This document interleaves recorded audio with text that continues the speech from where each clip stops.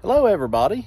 Welcome back to the Life as I Live It channel. I'm Steve, back with you again. I know it's been some time. Um, I posted a video briefly about two weeks ago and took it down. So it was a sale item and it sold rather quickly, so I didn't keep the video up. So I guess technically this is my first video of the new year. So here we are, February the 22nd. So I'm a little late getting a video out, but you know, it's one of those things. I'm actually battling COVID right now. I feel decent. I just don't have a lot of energy, but, uh, you know, not a whole lot of person can do about it. Just have to make the most of things. But anyways, I, some time ago, I showed you guys a little sneak peek of something that I had coming up on the channel.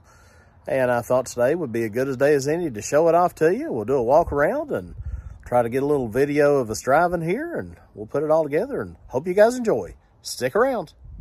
So you guys may remember that, I don't know, a couple, three weeks ago, I posted that I had something pretty exciting coming to the channel. Now, you see the wife's Toyota here, that's not it. But let me turn this thing around here and we'll take a good look at this. I have got a new addition to the channel, a new driver, and I am beyond stoked about this thing. You are looking at a 1950 Dodge Coronet. It is the four-door sedan, four-passenger, or I'm sorry, six-passenger four-door sedan. This thing has the Gyromatic uh, transmission. So back in the 1950, I think 49 and 50, they had either called a fluid drive or a gyromatic. Um, it's kind of like their idea of an automatic of the day. It's, uh, it's a really strange transmission. It took some getting used to for me. Now, I had a 49 Coronet years ago, but not nearly in the shape this car's in. So, to say the least, I'm beyond stoked to have this thing here at the house. Been driving it already, and I'm telling you, she is a blast. Limo in the background, and old George. Gonna be selling old George if anybody takes the notion they want a 74 Nova. Just kind of give you a quick walk around here. This car has the, it's powered by the Chrysler's, I think it's a 230 cubic inch inline six cylinder. The Coronet was the top trim level for that year. So back in 1950, if you were looking to buy a Dodge car, this was the most expensive car you could buy. It was the most loaded too. Ironically, this car does not come with a radio. It's got the delete plate and everything, but it does not have the radio. It's got these little things here to cover your locks and protect them. Now the mirrors, I'm not sure. It's possible they're added on and I'm, I'm sure this car has had a, a restoration at some point. Well, I know it has. Um, it, it's too decent shape not to. And there's a few little minor things that says, okay, it still needs a little bit of work on it, but for the most part, the paint's nice and shiny, and I've not done a thing to it. Oh, there goes our traffic down the road. Um, it has, uh, I believe these are Coker wide white walls in really good shape show you here. We got the back door handles. This one here got a little chip right here in the paint, so nothing major there. Matching mirror on this side. I'll get in here so you can see this gyromatic. And the tires you can see are really good shapes. Got the baby moons on it. I mean, this car just screams 1950s, no matter how how you look at it. We'll go ahead and open it up here. Now the driver's side door panel has probably the worst. It's uh, got some issues you can see. This here will eventually have to be recovered. The floor's got newer carpet in it. Got some throw mats. It's nice and solid though. The seats, as you can see, they've been fully recovered. Actually, they may be car covers. I, have not dug deep enough into it. It's possible seat covers. Uh, the door handle over here, again, is going to have to be uh, recovered and worked on. But the dash is nice and clean with the exception of one little place right there. You can see it's had a little bit of a leak. So that's something I'll have to turn my attention to later on. But the gauges are nice and bright. It's got 82,707 miles on it. But now I was told that the engine and transmission, the drivetrain have been rebuilt. So uh, hopefully there. It's got a manual choke that's been added. And that switch down there actually goes to an electric fuel pump that was put underneath. We'll get to all that here in just a few minutes. Uh, over here's the heater controls. You can see that there. The defroster switch is on the right, and then the one that's out underneath the hood would be to your left here, but when it was rebuilt, all that was disconnected, so that's not available. There's your radio delete plate, the nice big Dodge logo. I actually have stuck a Bluetooth speaker in there behind it, so that way if I'm driving it, I've got a little sound. It's a clock, got an ashtray below that, glove box over there. Everything still works on that. We'll pan back around here. It's got an overhead light that does work, ironically. It just, I don't know why, but there's no switch on the driver's side except a little one here, right here that you can see. But now, it, it isn't working, so I've got a feeling that's something I'm going to have to look at replacing which isn't a huge, huge deal to me. It's not a, not a major issue. Back door panels, I believe, are original. They look like the right material that would have been in it. Um, headliners, a little dark, but it's not in terrible shape for the age. Most of them are tore all to pieces. The rear package shelf's pretty good. I got some air freshener, my license plates there in it. It's got clothes hangers and all that. But overall, I mean, the car is just really super nice to be a 73 year old car. Uh, I always have to tell myself that. If you look here in the back seat, there's all kinds of room. Even has, I'll pull in here and get everybody in so you can see, even has the ashtray here with the Dodge logo on it. Oh, well, it's my lucky day. Somebody left me, looks like 20 cents in the ashtray there. It's got handles here so you can get in and out. And I mean, this car, the room back here is absolutely phenomenal. And if you see this little box down here in the floor, let me tell you something. If you have an older vehicle, or really anything that has a funny smell to it, it would be in your best interest to get you one of these. Now, I'm no way sponsored by anybody. I'm just a, my own person here, but I, this thing, when I bought it, the smell of mothballs would absolutely knock you down. So I knew that was something I was going to have to take care of pretty fast. So I purchased that thing off eBay. There's the, the fuel tank. It's got a new tank on it. Tail lights, eh, I've seen better, I've seen worse, but there is uh, another set of tail lights in the trunk for it. So I've always got those available to swap out. There's that. Um, we're going to get under the hood here in a minute where you can really see the changes, but I wanted to show you all this. So when you open the passenger side door, if you look up, that light's are burning. This side has a door switch. Now, why the other side doesn't, I have no idea. But maybe that's one of the quirks of Dodge. I'm not sure. But anyway, I purchased that ozone generator off of eBay and I think it was about $35, $40. I did two sessions of it and it absolutely has taken that mothball smell away. The only thing you can smell now is just the air fresheners I've got in it and it's made the drive a whole lot more pleasant. I love this big hood emblem here, this ornament. It's amazing on it. Got the Dodge lettering down here. And then right there in the center of the grill is a big crest. I think that right there is the show-stopping piece for this car. And and Dodge wasn't, they weren't one to spare the pieces either. I mean, they, you can see them plastered all over the car. It's got the, I don't know, this must be some kind of add-on here. I've not seen these before. Maybe it's, it feels like metal, but I think if something was added on, probably when the car was repainted all the lights and all the gauges and stuff work. Uh, temp gauge, I'm not sure on. Uh, it doesn't come up, but it may just be something I'm doing wrong. Now, even though this car's a 1950, check this out. Oh, there's the serial number on it.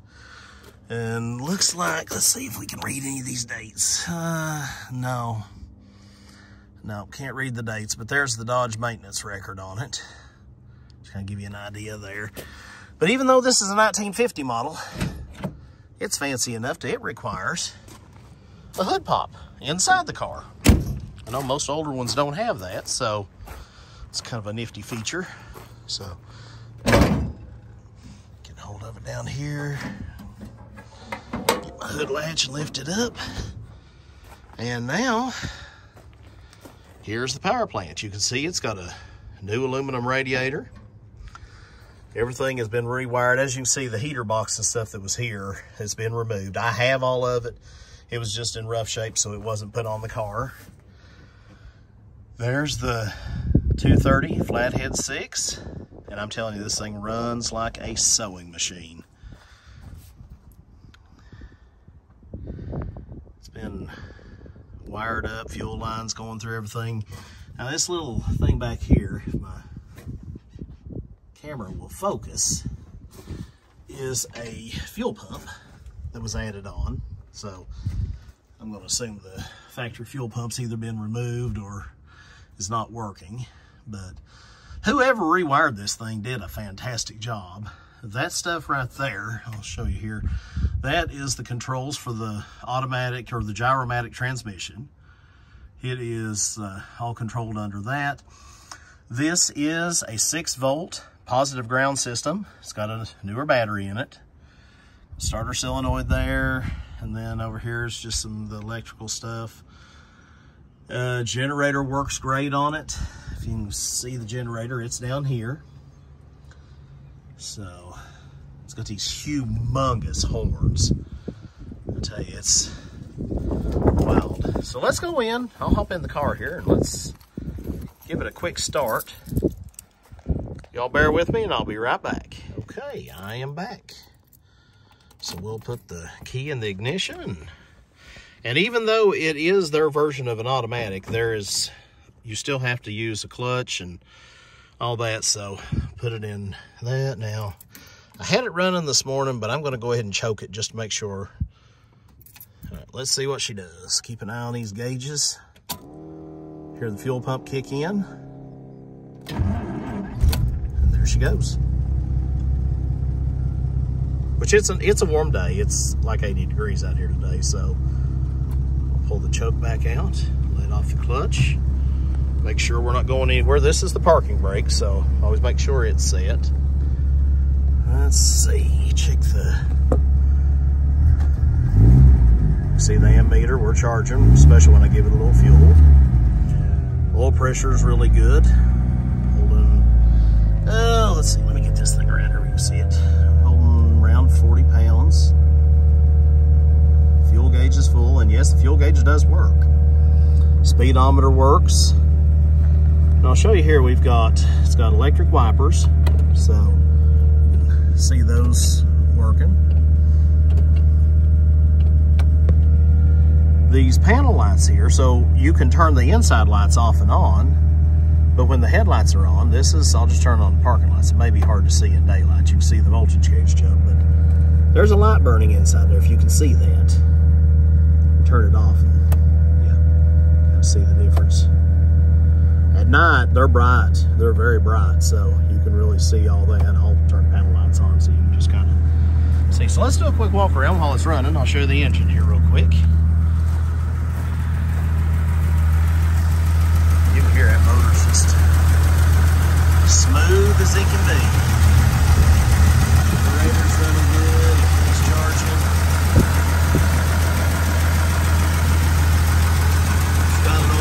single barrel carburetor on there with oil bath filter and stuff on it. See the parking lights are burning.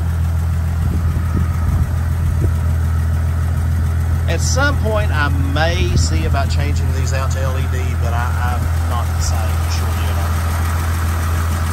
Sounds good. Now, when we get around back here, this is what I want you to hear. Listen to this thing. You hear that?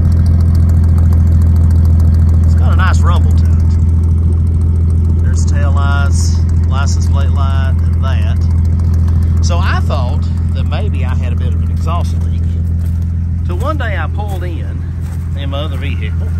happened to glance over underneath the car and take a look.